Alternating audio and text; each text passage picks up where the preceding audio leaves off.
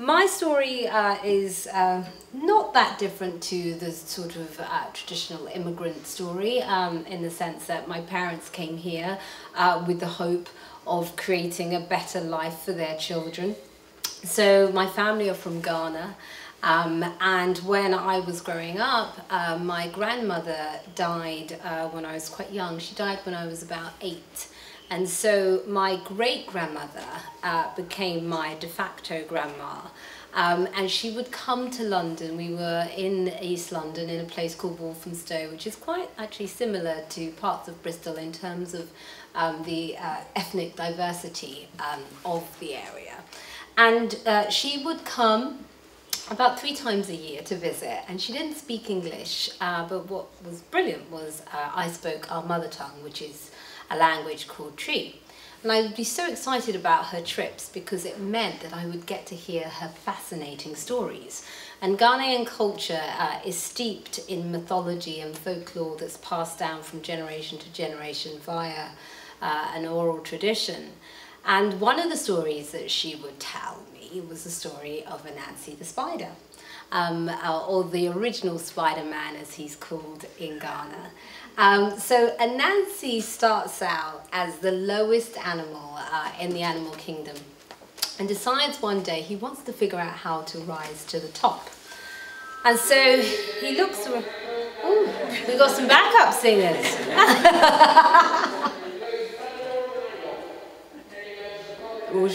all of a sudden see an influx of people start coming in.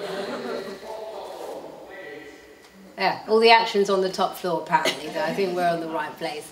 Um, and so, so uh, he starts out at the bottom of the animal kingdom and decides he wants to figure out how to rise to the top.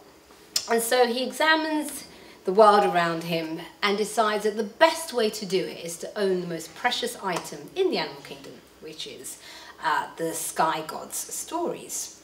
And so he goes to the sky god and he says to him, I'd like to buy your stories. And the sky god says to him, well, number one, they're not for sale. And number two, what makes you think you, a low spider, can afford them? And so Anansi says, no, I really want them. And so the sky god is still reluctant to even have the conversation and Anansi persists because the wonderful thing about being at the bottom of the animal kingdom is you're used to hearing no, so no doesn't actually mean uh, the same as it does for everybody else. So Anansi persists and then the sky god decides he has to give him a chance.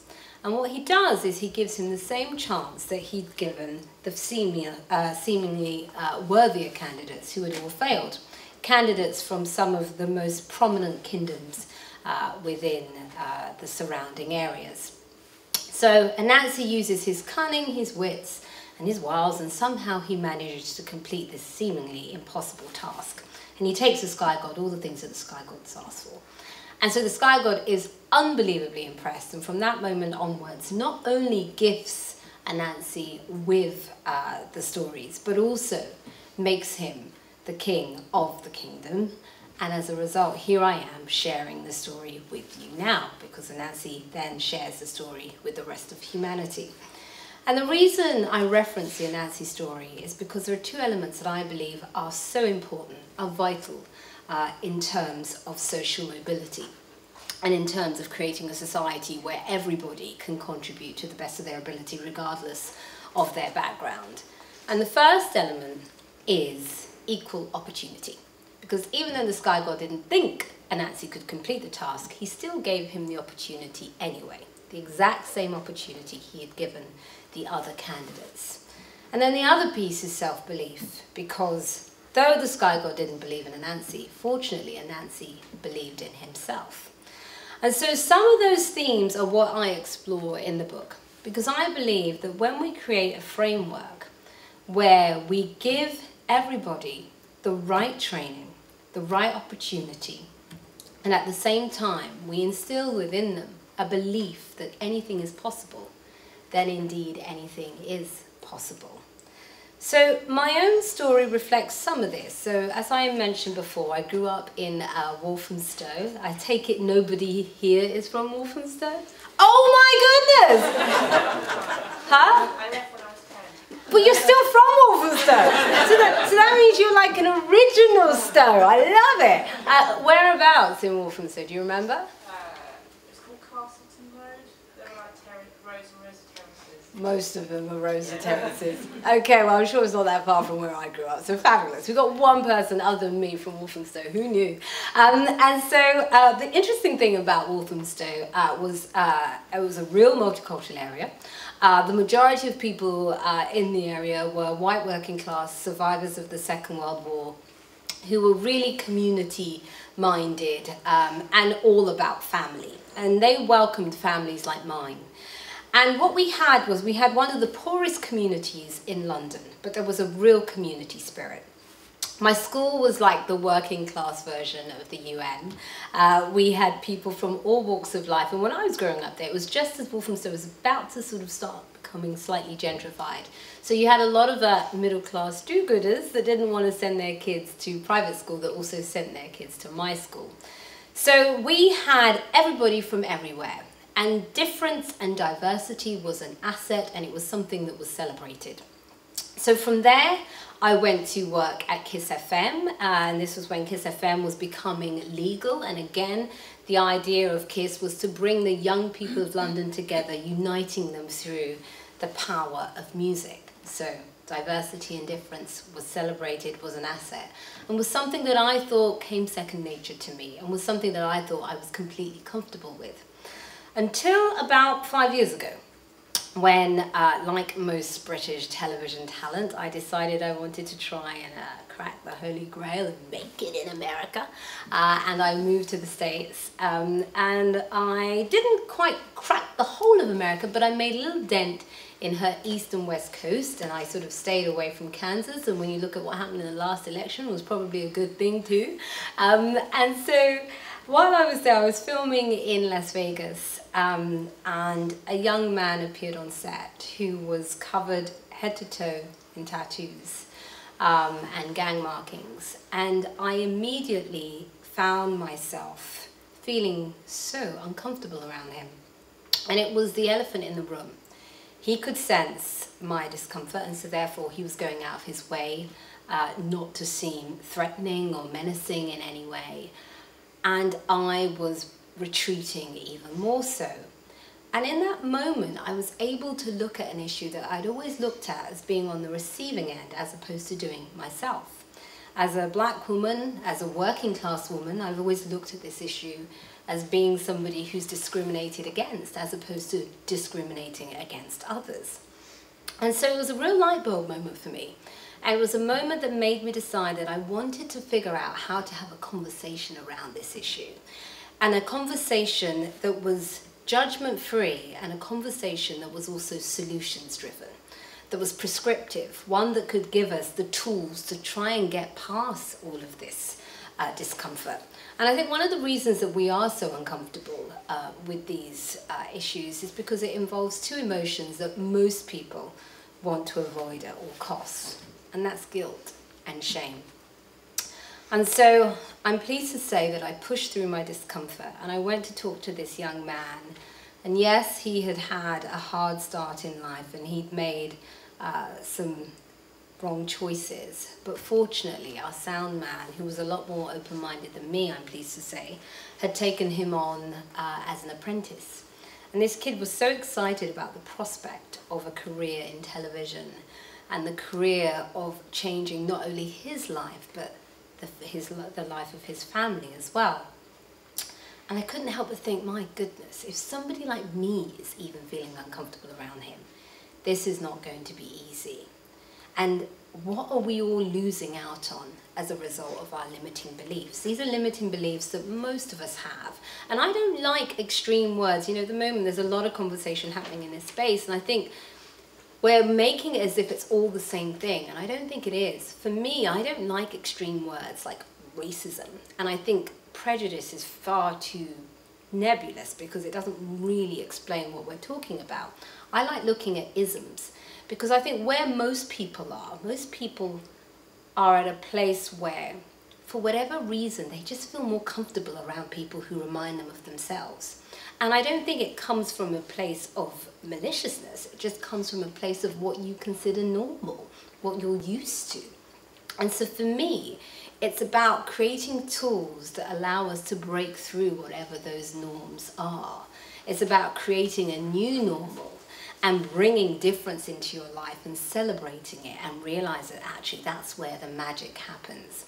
Now, when we talk about diversity, a lot of the time we look at it from the issue of gender or race. And I think actually where diversity is concerned, we have to take an intersectional approach. We have to look at it from a broad perspective because it's only when we look at tackling what's happening with any group that's disenfranchised, any group that's discriminated against, any group who isn't able to contribute to the best of their ability. It's only when we do that that we're able to create a society that is actually inclusive and sustainable and a society that is, is created in a way that actually is something that can last uh, long term. So after that conversation with that young kid, I decided that I wanted to do something. I didn't know what that something was going to be. Um, and then a friend of mine called me and she said, oh, you know what, June, this was at the time when um, Sheryl Sandberg's Lean In came out. And she said, oh, June, you know what, you should write a book. And I said, really? And she said, yes, you should write a, a book. Um, I think we need the multicultural lean in. And I said, what? And I said, well, actually, you know, this issue happened to me uh, uh, when I was filming in Las Vegas, and I've always wanted to start a conversation about it, but I didn't know what. And she said, well, I think you should write it. And so for me, I thought it was really important not just to make the book anecdotal, but also to present the economic case, because we live in a capitalist society, and often we look at the moral and the social argument for this issue, but actually, the real big piece is the economic argument. All of the data and the research shows that diversity is good for everyone, even those that are going to have to share that much more. Because when we're able to utilize everybody's talents, when we're able to bring out the best in all of our citizens, the whole all of our citizens, the country as a whole benefits. So from there, I thought, okay, it's time to create a framework that gives people the tools on how they better connect with the other. Because the wonderful thing about my job is throughout my life, I've had to connect with the other. That's that's what I do. That's what we do. You find you meet people who seem different to you, but somehow you find a common ground. You find common ground, and you find that place to connect.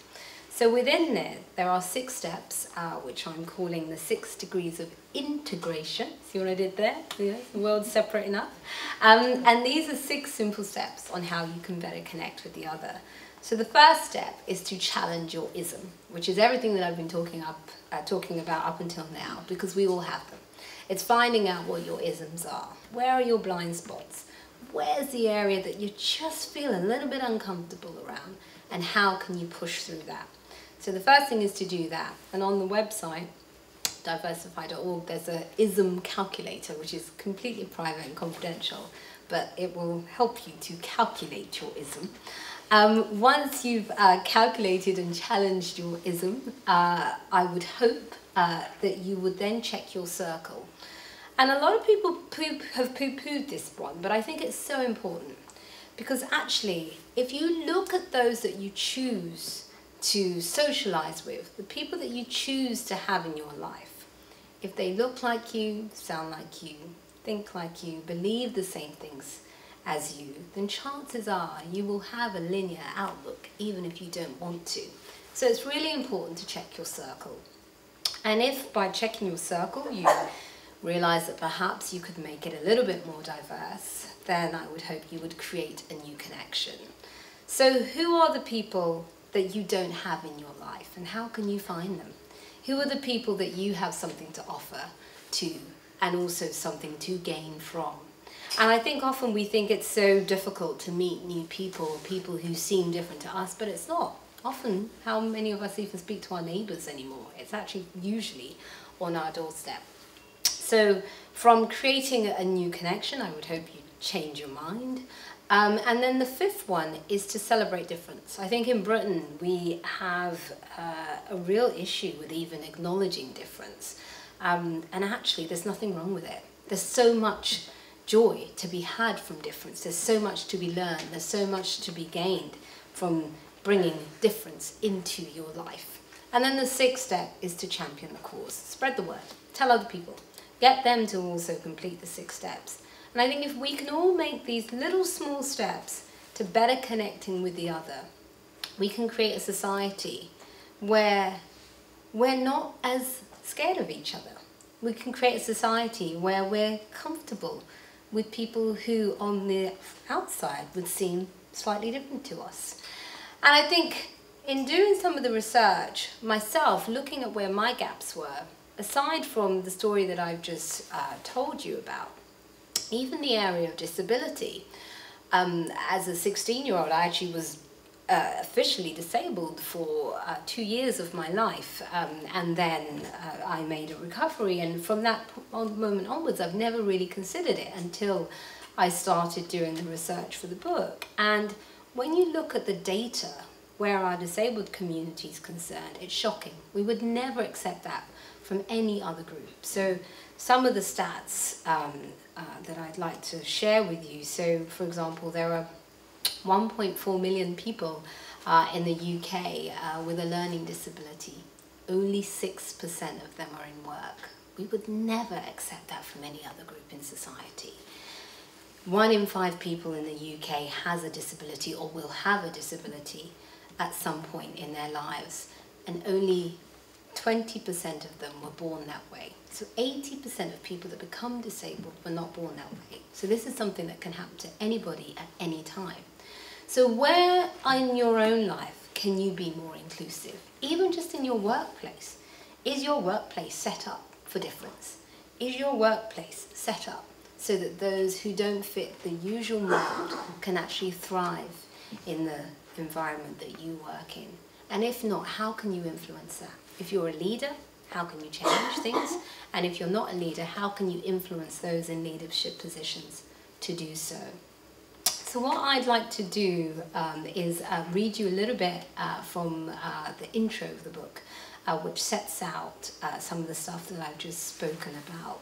Um, and then it'd just be great to have a conversation because I think the thing with these uh, with this issue is it's it's just lovely to talk because often we don't talk about this stuff and we are uncomfortable um, in in addressing it or broaching it in any way. But actually, it's when we do um, that we're able to move society forward. So I'll uh, read a little bit uh, and then I'd like to hear from you. Okay. So, so how it works is I look at all of uh, the other groups, um, and so it's other man, other woman, other body, and, and so on. Um, and I look at the other way, um, the old way, which is how things currently are, and the other way in terms of how things could be. So this is the intro, um, and I open the introduction with one of my favourite quotes by a man called William Sloane Coffin, uh, who was a civil rights activist um, in the 60s and a good friend of Martin Luther King's. And he's such a brilliant man. He was born into one of the wealthiest families uh, in New York uh, and was actually a CIA agent um, and decided that uh, he instead wanted to leave the dark side, as it were, uh, and be a vessel of light and became a civil rights activist. So the quote is Diversity may be the hardest thing for society to live with, and perhaps the most dangerous thing for society to be without. So, only connect. The British humanist and novelist E.M. Forster famously wrote Only Connect and he was absolutely right. While the earth is vast, we live in a small world full of opportunities to connect with each other. And it's only when we do this that the walls between us come down. Yet the majority of us seem to find this incredibly difficult, caught up as we are in the things that divide us. In one sense, of course, we are more connected than we've ever been before. Whether we live in the remotest parts of the world or in great international cities, such as, I was going to say London, but Bristol or New York, uh, we can connect across the globe at the click of a button.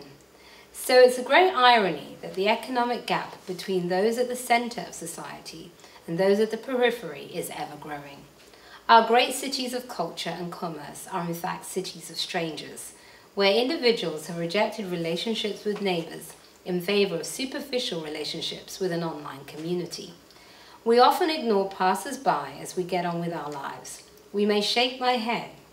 We may SMH, shake my head, at news feeds that show injustice at home or abroad, yet somehow we continue on, unaffected by what happens to others.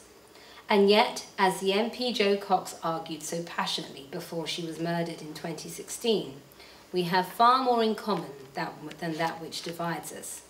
This isn't head in the clouds liberalism speaking. This is indeed scientific fact. Genetically, human beings are 99.9% .9 identical. Our bodies perform in the same way, we breathe the same way, we eat the same, we sleep the same. And yet we choose to focus so much on the 0.1% that makes us different. The 0.1% that determines external physical attributes such as hair, eye and skin colour. This focus has been the cause of so much tension and strife in the world. Yet by re-evaluating the importance we place on it, we have the power to change how it affects our future. What if we celebrated that 0.1% rather than feared it? What amazing things might follow for our society? The need to do this has never been so urgent, thanks to the recent political upheavals of Brexit and the election of Donald Trump, the rise of extremism and economic instability. We now are more divided than ever before, but the ability to change this is firmly within our grasp. To heal the wounds that have been exposed, we need to diversify, and we need to do it now. This is an issue I've felt passionate about for a long time. It informs my work, my relationships, and my everyday life. And it's more than a question of encouraging human kindness. I've long suspected that there is a hidden financial cost to our lack of diversity. The research I've undertaken for this book has confirmed that. I decided to write about this issue, often drawing on my own experiences to present the issues that a lack of diversity is causing for us today, alongside the arguments for the social, moral and economic benefits of diversity. You'll also find practical tools on how we might go about creating a new normal that is equitable, diverse and prosperous. Why now? On the 28th of August 1963, Dr. Martin Luther King, for me one of the greatest men of the 20th century without question, delivered his iconic I Have a Dream speech. I was always found his words laying out such a powerful and clear vision for global equality and unity and delivering a message of hope that we could all be a part of. Absolutely mind-blowing. He presented a comprehensive vision and framework for the much needed journey that would get us there. And I firmly believe it's one of the best examples of the type of society we should all be striving to create. Now, over half a century later, where are we on that journey that Dr. King laid out for us? And what does that mean for humanity? The sad truth is, it's a journey that many of us are yet to embark on. Prophesizing his own assassination, King ended his last speech with, I may not get there to the promised land with you. And indeed he didn't. And there have been claims that if Dr. King were still alive today, he would be incredibly disappointed by what he saw a world divided by gender, nationality, class, sexual orientation, age, culture, and of course the two big R's, race and religion. I would argue that actually Dr. King would not so be disappointed by what he saw, but rather what he couldn't see. It's what lies beneath the surface and the facade of tolerance and political correctness that causes the real malaise. The limiting viewpoints that are hidden inside us that we rarely speak of but often think about and worse sometimes act upon. Whether they are conscious or unconscious, it's these hidden and unexamined attitudes that shape the inequality we see today in society. The evidence of that is clear in the political upheaval that has occurred both in the UK and the US recently. There are many parallels between the shock results of Britain's Brexit referendum and the Electoral College victory of Donald Trump in America in 2016. As a board member of the official Remain campaign, I was certainly, in certainly not in favour of Brexit and put all my passion and energy into trying to convince the British public that Britain was stronger in Europe. The result was a painful and bitter blow, and one that still hurts now. We will only see the true fallout now that Article 50 has been triggered and the negotiations have begun. However, whatever your views on Brexit, I think what is clear is that when we look at the causes and the reasons behind it, we must act. The majority of us recognize that there are things greater than ourselves that can unite us the world we share and our common humanity. We know the need for understanding, connection, and solidarity as one human family is more urgent now than ever. The greatest challenges of our time demand our cooperation. But how do we achieve this when we have been separate for so long? Change is not easy, but it is necessary. That's where this book comes in. So that's all. Thank you.